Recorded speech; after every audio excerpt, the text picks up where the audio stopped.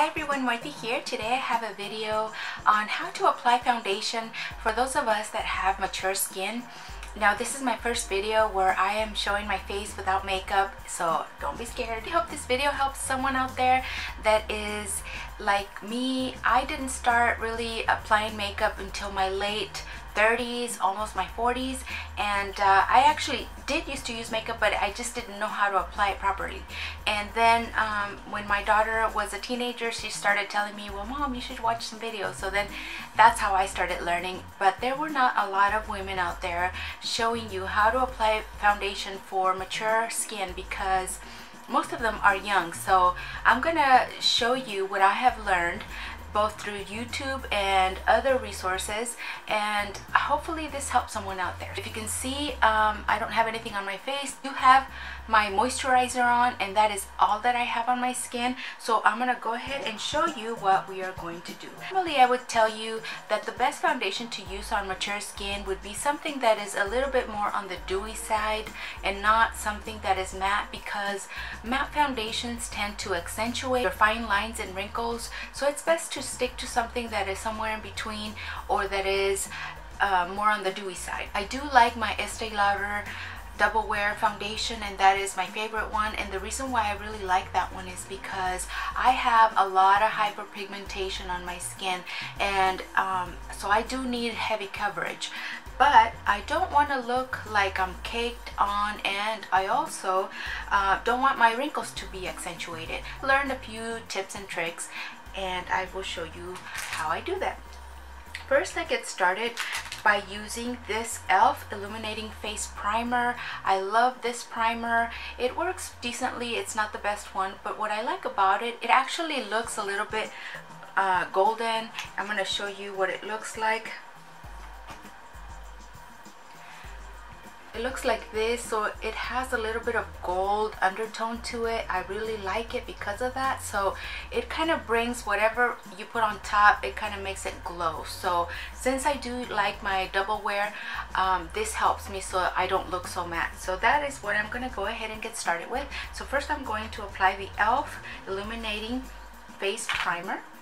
And I just put it on with my hands like this. And um, one technique that I have learned is to apply it in both directions. So you apply it this way and then you go the other way.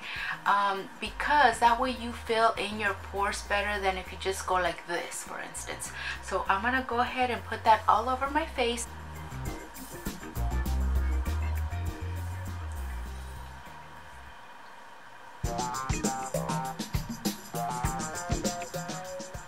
So I went ahead and applied all of the face primer and I made sure to get it also underneath my eyes and on my eyelids. I really like to just set a perfect even base all over so that no areas look different than others. I also like to put it down my neck because you do want to match your face to your neck and also since this one is a little bit illuminating it kind of looks really nice on the neck so I like to put it all the way down. Next thing I like to do is I take my double wear and I apply it with one of these Real Techniques brushes. You could also use a beauty blender.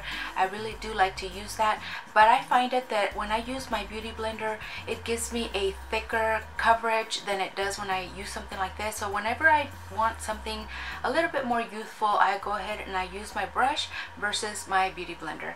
And here is my double wear. I am in between two colors. I am in between the color Tawny and Dawn. So what I have to do usually is I have to combine them so I just apply it on my skin like this. I put dots here and there. Now don't forget to put some down your neck. So I'm to go ahead and blend it out. And the same with the with the foundation when you apply it it's best to go both directions so that the foundation goes evenly on your skin and um, and it covers a little bit better versus when you just go in one direction it kind of doesn't cover as well. And it also makes your pores kind of shrink a little bit when you do that. Okay so I went ahead and I applied the foundation all over my skin. You can put as much or as little as you like depending on the coverage that you need but it's always best to try to put less versus more because the more you cake on the more your fine lines and wrinkles will be accentuated. So it's the least amount that you could use is the best way to go. And then the next thing to do is you always have to set your foundation. And what I like to do in this case I like to use this really nice uh, powder that is called Airspun Loose Face Powder. It's really inexpensive. It's like six, seven dollars at Walmart. This is one of my favorites because it isn't matte. It kind of gives you a little bit of a glow, which is what I am going for. And if you could see, I don't look too matte and um, I want to keep it that way. I don't want to stay too matte. Of course, I don't want to be like a grease ball, but this helps you come to a really nice finish. Comes with its own little um, applicator right here, but I really don't use that. What I like to use is one of my Real Techniques face powder brushes. So I tap it on first. And wherever I put foundation is where I like to also put powder.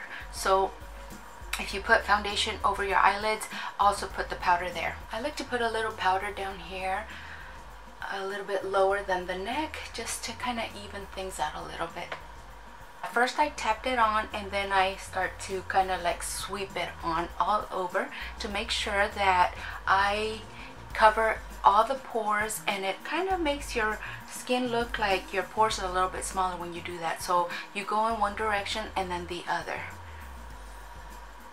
okay so that's the way it looks.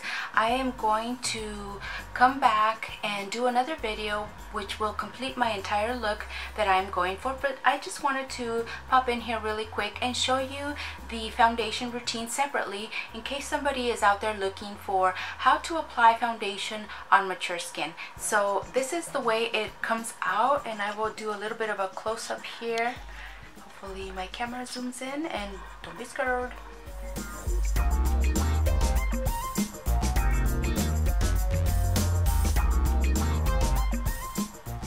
Okay guys, that was my video for today and I hope it helped someone out there that is in my shoes how I was. I didn't know how to apply foundation properly. I didn't really know how to put on foundation for mature skin because I really never learned how. So hopefully this helps someone out there.